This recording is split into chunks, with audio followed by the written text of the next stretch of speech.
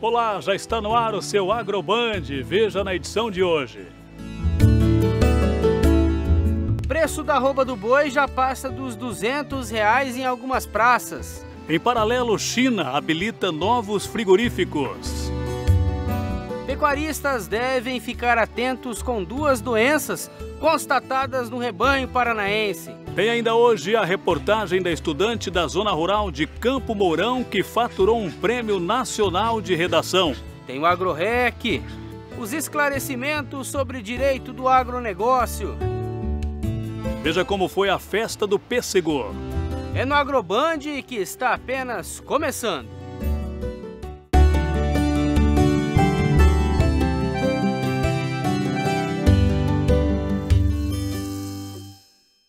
Olá, bom dia! Está começando mais um Agroband aqui pela sua TV Maringá. Bom dia, Mário de Oliveira. Bom dia, Kleber. Bom dia a todos os nossos telespectadores. Sejam todos bem-vindos a mais um Agroband.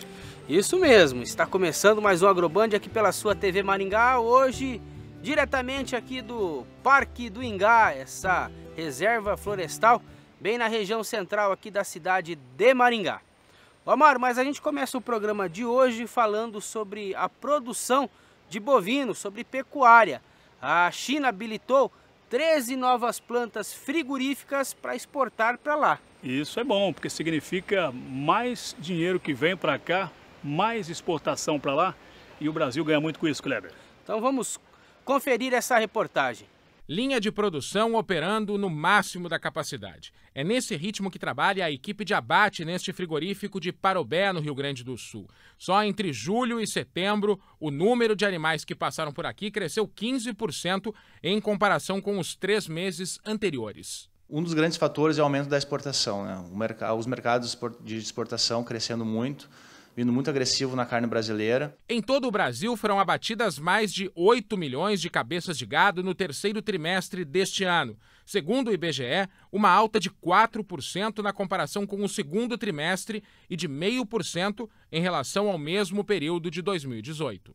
Segundo especialistas, o crescimento da produção está ligado à maior demanda da Ásia, principalmente da China, pela carne brasileira. Além de bovinos, esse cenário também impulsiona os abates de aves e suínos aqui no país. Os abates de frangos aumentaram mais de 3%. A produção de carne de porco também cresceu, quase 1%. A peste suína, que atingiu a China e devastou a criação dos animais do país, também aumentou a procura pelos produtos brasileiros. Como o mercado internacional, em especial a China, estão dispostos a pagar preços mais altos, a tendência é os frigoríficos optarem por abastecer o mercado chinês e desabastecer o mercado interno. Consequência disso, a efetivação né, do prenúncio de aumento de preços para o consumidor brasileiro. O preço das carnes subiu em média 3,75% neste ano no mercado interno, segundo o IBGE, uma alta acima da inflação.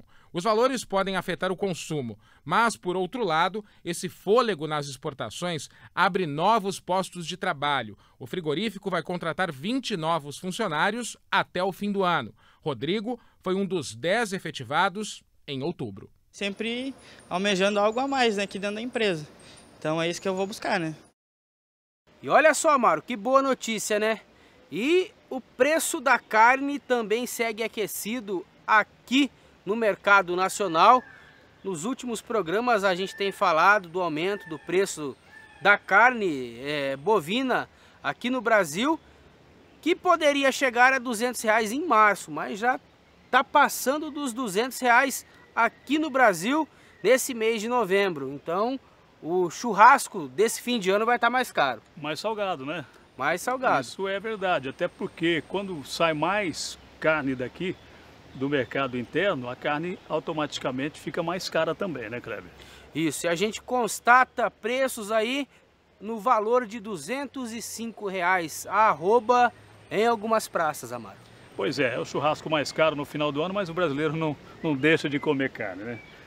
Kleber, a gente vai falar agora sobre um prêmio que uma menina de Campo Mourão, uma aluna, ganhou a exemplo daquele caso lá de Umuarama, né? Isso mesmo, é o mesmo concurso, um concurso nacional promovido pelo Impev e ela ganhou na categoria redação. Percorremos mais de 10 quilômetros de estrada de chão para chegar até Alto Alegre, este pequeno vilarejo em Campo Mourão. É aqui que estuda a pequena Yasmin, vencedora da etapa nacional do Programa de Educação Ambiental do Sistema Campo Limpo, o PEA, desenvolvido pelo IMPEV e realizado na região pela ADITA. Não colocar fogo nas matas, que mais? Poluir os rios. Isso, não poluir os rios. Hã? Não jogar lixo no rio. que mais? Quem dá mais Sabemos que nosso planeta está sofrendo com as atitudes erradas seres humanos. Florestas destruídas, animais extintos, geleiras descongelando, poluição no solo, na água e no ar.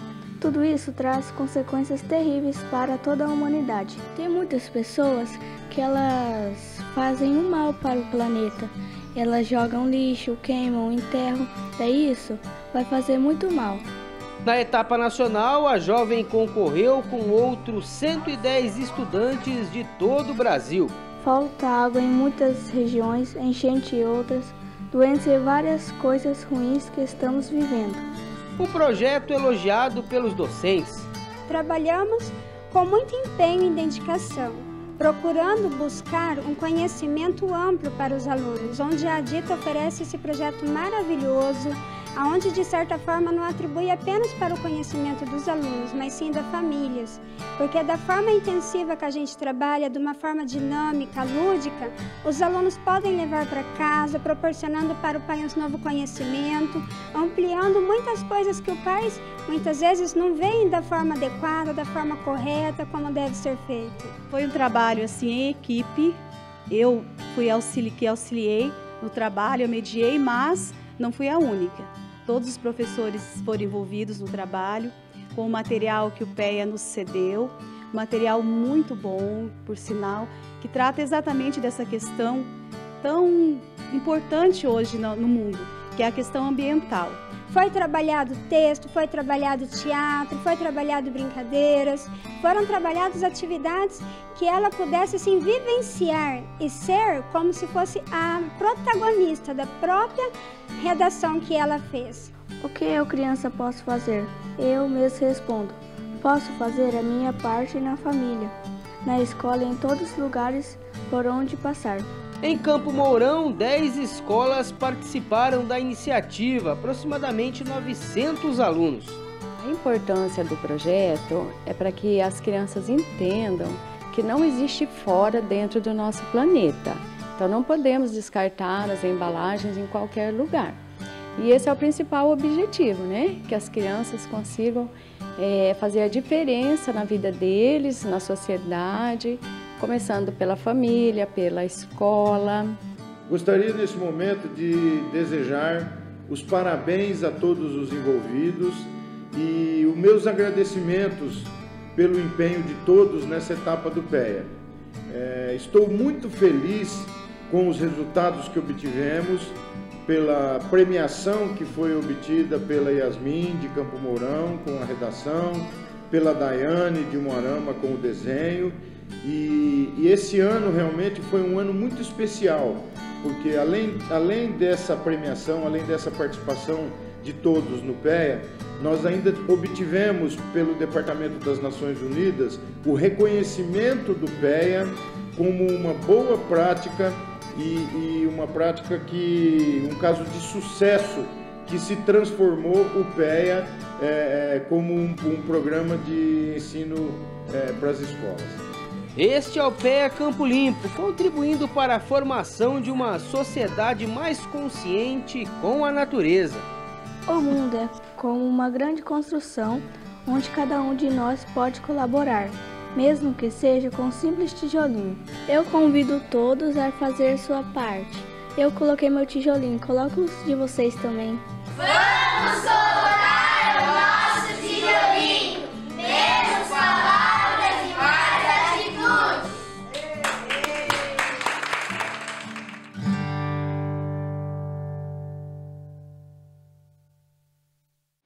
Pois é, parabéns para essa aluna de Campo Mourão também, um trabalho bonito que foi feito e a Dita, né, tá de parabéns também por promover, por propiciar esse tipo de conscientização também nas escolas, viu, Kleber? Muito legal, eu estive presente lá então. O pessoal ficou bastante contente com essa premiação, tanto de Moarama quanto também de Campo Mourão. É a conscientização das gerações futuras, né, Márcio? Isso é bom, é verdade, é muito interessante mesmo falar-se em preservação do meio ambiente. E nas escolas também essa consciência é importante porque os alunos vão levar esse exemplo também para casa. Kleber, a gente vai falar agora dos nossos parceiros lá, o seu Jair Benalha, também o Moacir Ferro, pessoal lá da Síntese AgroScience Campos Verdes. É uma empresa tradicional e conceituada aqui na região no que diz respeito à difusão de tecnologia e recomendações técnicas e ela propõe um novo conceito em soluções inovadoras para o agronegócio. A gente mostra aqui todo final de semana, né? Isso mesmo, repensar o mercado atual e inovar em soluções para um novo agro. Essa é a proposta da empresa ao criar então a Síntese AgroScience, uma marca que já chega forte no mercado. Possui uma área aplicada aí de 80 mil hectares, fruto da parceria com produtores rurais, uso de inovações tecnológicas, diversidade em soluções e versatilidade na aplicação. Tudo isso resulta em mais praticidade no manejo através de um programa nutricional de manutenção de produtividade promovida por suas linhas de produtos que nós também mostramos aqui, essas linhas de produtos especializadas em nutrição, proteção e potencialização vegetal. Isso mesmo, o próprio nome já é indicativo de qualidade. A síntese faz parte de toda a cadeia de produção de cereais e está presente em todas as fases da planta, por meio da fotossíntese, que possibilita aos vegetais produzirem energia durante o seu desenvolvimento. A síntese AgroScience veio para auxiliar e garantir maior produtividade, rentabilidade e viabilidade ao negócio do produtor rural, além de fortalecer cada vez mais essa parceria. Campos Verdes, trabalho sério com responsabilidade econômica e ambiental. Um abraço então para o seu Jair e o seu Moacir Ferro, que são lá da Campos Verdes. Isso, nossos parceiros aí faz tempo com a gente aqui no Agroband. Vamos agora ao nosso primeiro intervalo, Kleber. Daqui a pouco no Agroband você aí de casa vai acompanhar. Duas doenças da pecuária que precisam de atenção dobrada. Tem também a festa do pêssego. É no Agroband que volta já já. Feijão carioca foi comercializado a R$ 228,22 em média. O feijão preto R$ 129,08 e a saca do milho foi vendida em média R$ 33,98 esta semana. A mandioca padrão de amido foi vendida a R$ 440,65 em média a arroba nesta semana.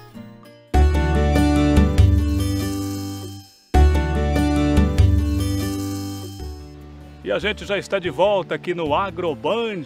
Muito bom falar com você todo final de semana cedinho, trazendo notícias importantes também do agronegócio. Isso mesmo. Ó, Mari, a gente começa esse terceiro bloco falando sobre duas doenças que são constatadas aqui na pecuária paranaense e é um alerta até que o pessoal da ADAPAR fez pra gente. Então vamos conferir aí na entrevista. Além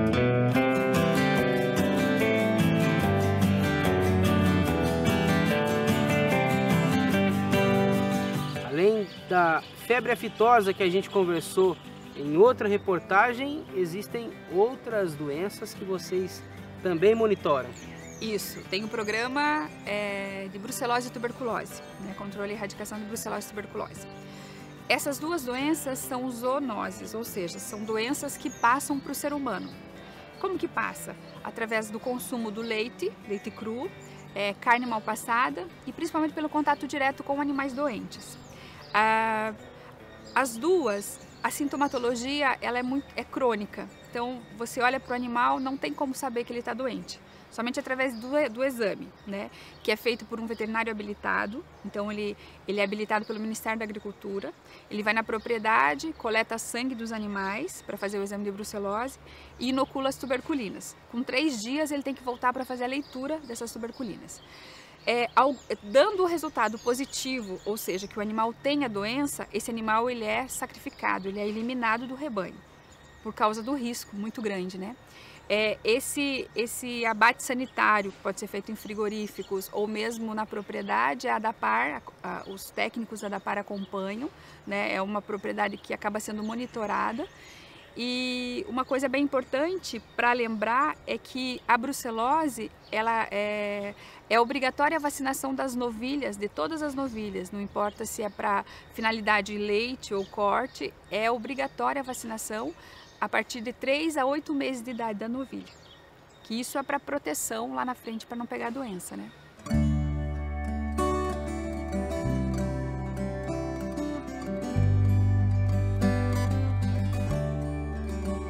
Ser humano, a brucelose principalmente ela pode dar problemas reprodutivos, mas também problema como artrite, artrose, ela é bastante disseminada, né?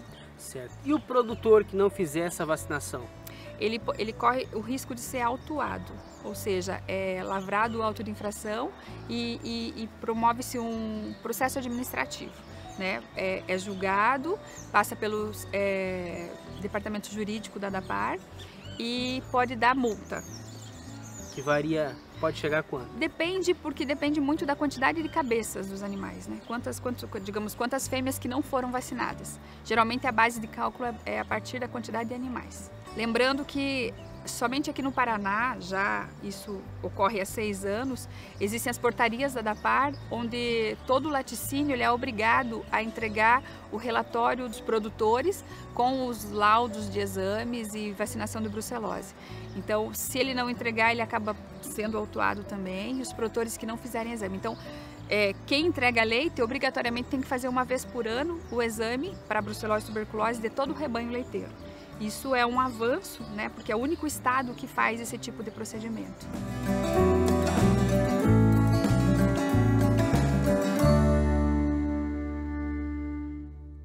Tá aí, Kleber, as informações sobre a pecuária paranaense, a pecuária brasileira, brucelose, tuberculose, preocupações aí para o homem do campo, tem que tomar cuidado.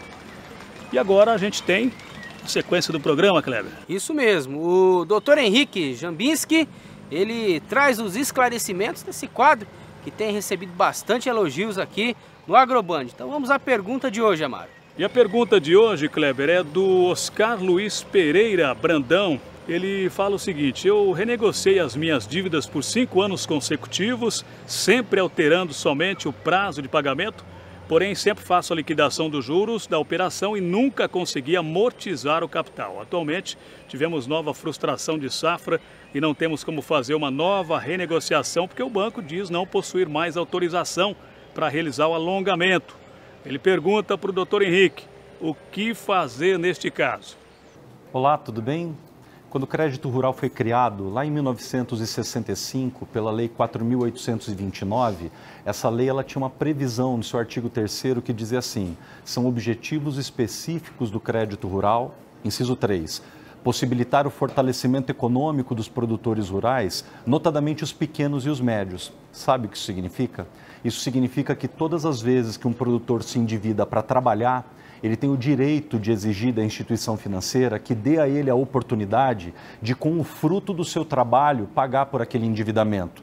Mas a atividade agrícola é uma atividade realizada a céu aberto. O produtor está sempre sujeito a uma intempérie, uma praga, uma quebra, uma frustração de safra ou de mercado. É justamente por isso que a legislação de crédito rural autoriza, nos casos previstos em lei, a reprogramação do cronograma de reembolso. O que significa isso? Isso significa que toda vez que o produtor sofre ou com um problema na comercialização dos produtos, ou então com uma frustração de safra, ele tem o direito de parar o cronograma previsto de pagamento na cédula originária e pedir ao banco que estude a sua capacidade de pagamento para reprogramar a forma como ele vai devolver aqueles valores.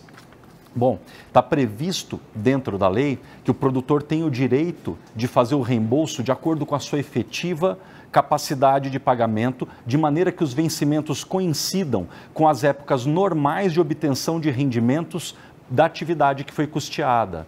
Quando o Oscar nos diz que já fez a renegociação por cinco anos consecutivos, a legislação não coloca limite em quantas vezes ele vai renegociar. O que é importante ele saber é que sempre que ele paga apenas os juros, ele não está amortizando o valor que ele deve para o banco. Por isso que ele deve exigir do banco que a prorrogação não seja feita de forma artificial, apenas o pagamento dos juros e a rolagem do principal, mas sim que atenda ao manual de crédito rural com estudo da sua efetiva capacidade de pagamento, com um parcelamento que seja possível ele pagar os juros e também amortizar o saldo devedor para que um dia ele se livre do pesadelo que foram essas frustrações de safra. Se você também tem dúvidas sobre endividamento rural, escreve para o endereço do vídeo que semana que vem a gente responde. Até lá! Agora um recadinho do nosso parceiro, a Cicred União Paraná São Paulo.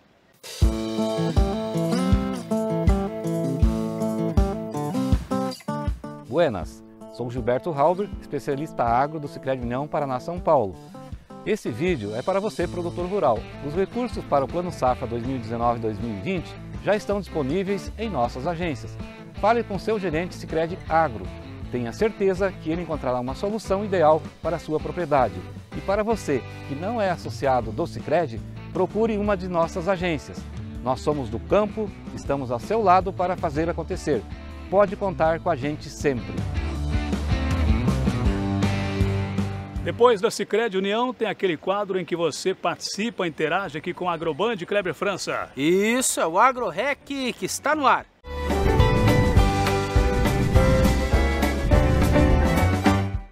Bom dia, Agroband. Estamos aqui para mostrar esse pé de fruta que hoje a maioria da, dos jovens não conhece.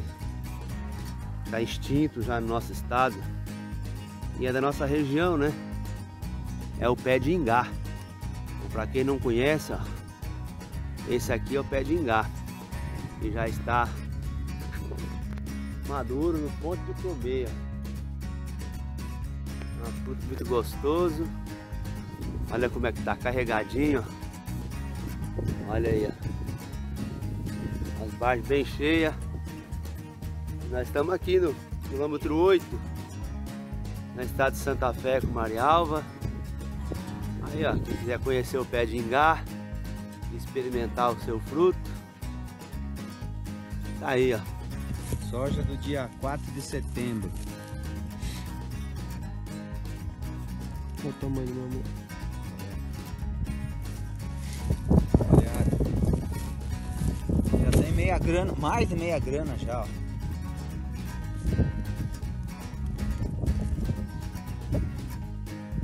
Rapaz. Complicado, hein? Tem também a participação do Ildefonso Alzec. Um grande abraço pro Ailton Moreno de Maringá que casou neste final de semana. Quem mandou essa foto foi a madrinha dele, a Lilian. E olha a foto tirada pelo Valdir Fries. Para encerrar, a moça do berrante.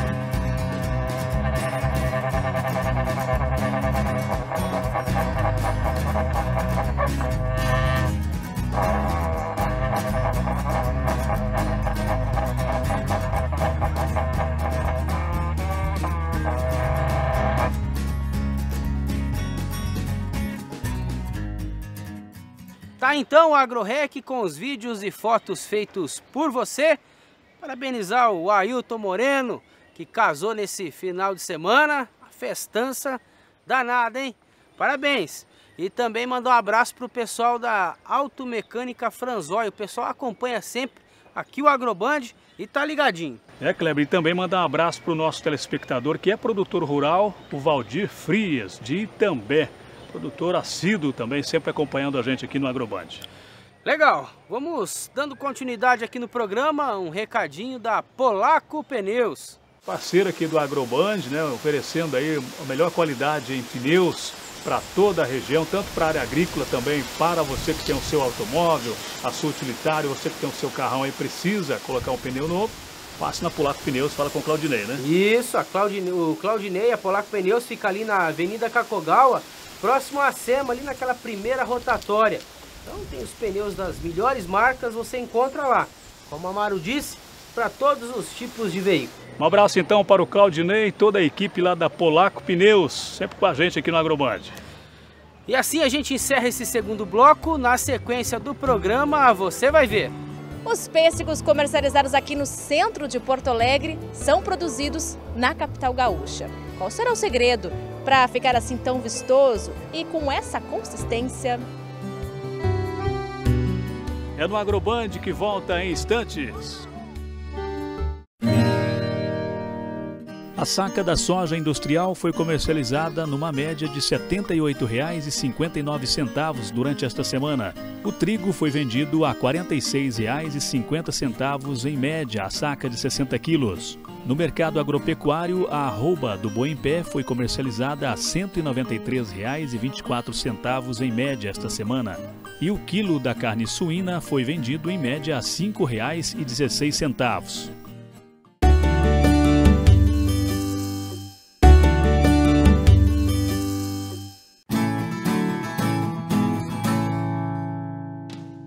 Em Luanda acontece a Expo Luanda, de 28 de novembro a 1 de dezembro. De 11 a 24 de novembro, em Maringá, tem Agrocampo, no Parque de Exposições. E no dia 30 de novembro, tem Biotecnologia aplicada ao tratamento de efluente industrial da Tratec.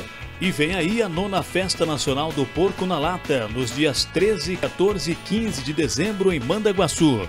Agora a gente dá um pulo nos Pampas, tchê. Vamos mostrar como foi a festa do pêssego, que é muito tradicional por lá. Está na época de saborear pêssego. Bem gostoso. Uma delícia. Chegar em casa agora, colocar na geladeira e comer.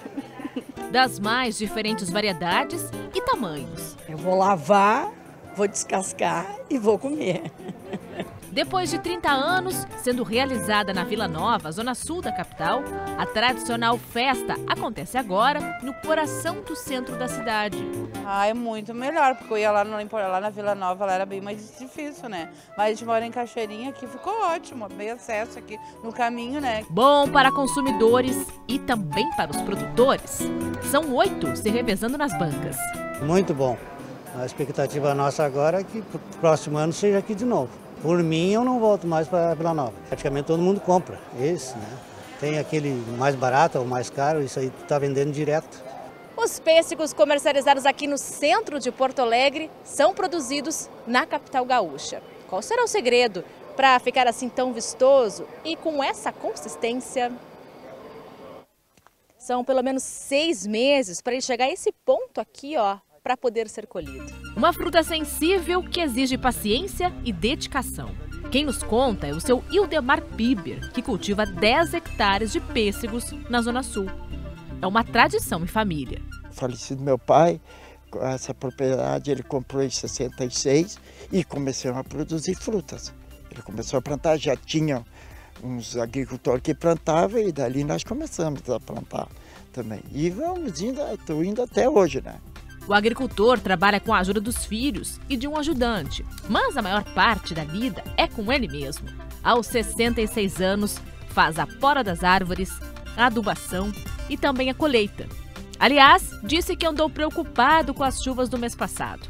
A safra atrasou e alterou um pouco o sabor da fruta. Está mais aguada, foi muita umidade, aí então ele fica mais aguado. Que o pesco é uma fruta que gosta muito do sol. O sol é que faz ela ficar adocicada, né? Mesmo assim, seu Piber está otimista. Deve colher em torno de 40 toneladas que são escoados na feira, na Central de Abastecimento de Alimentos do Estado, a CEASA, e na venda direta ao consumidor. O maior orgulho é quando o consumidor lá prova e diz, ô, oh, que beleza. É, o maior orgulho é quando ele recebe o elogio, né? A propriedade é uma das 20 que produz pêssegos na região. Ao todo, Porto Alegre conta com cerca de 700 produtores rurais que vivem no cinturão chamado de zona rural. Eles ainda mantêm as raízes na, na propriedade, né? fazendo com que haja uma produção bastante significativa para a população de Porto Alegre. Legal, interessante essa matéria. Eu particularmente gosto bastante de pêssego, hein, Amaro? Você quer ver aquelas latas de doce de pêssego que tem um tio meu? Uma delícia, né? Manda um abraço pro Padrinho Gentil, ele gosta de um doce de pêssego. Em conserva também, né? Aquele... É, que é uma delícia, né? Uma delícia. O pessoal do campo adora e gosta de fazer também, né? O pessoal que faz no campo também fica muito delicioso o pêssego em conserva também. Legal, e nessas festividades de fim de ano, o pessoal come bastante o pêssego, né, mano? Come bastante. Agora no final do ano a pessoa come de tudo que tem direito, né? Porque no final do ano a pessoa tem condições de umas férias, de repente visita um familiar, um amigo e sempre tem algo diferente para saborear. Legal, então com essa festa do pêssego a gente encerra mais um programa. Muito obrigado pela audiência. Bom final de semana. Um abraço para todo mundo, obrigado pela audiência. Até semana que vem. Tchau, tchau. Fiquem com Deus.